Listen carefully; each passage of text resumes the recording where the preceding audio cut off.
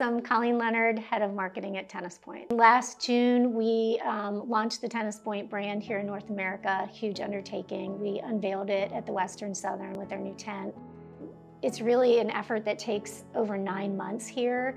And then during these last like two weeks, um, heading into the tournament with setup and staffing, it's you know an additional 50 full-time people pulling it all together and getting it done whether it's operations, whether it's warehouse, whether it's customer service, marketing. We've got people that have come on the last two months, people that have been here for 30 plus years. Everybody's pitching in wherever they can, and I think that's just inspiring to see as, a, as, as an employee of this company. It's an awesome team to be a part of.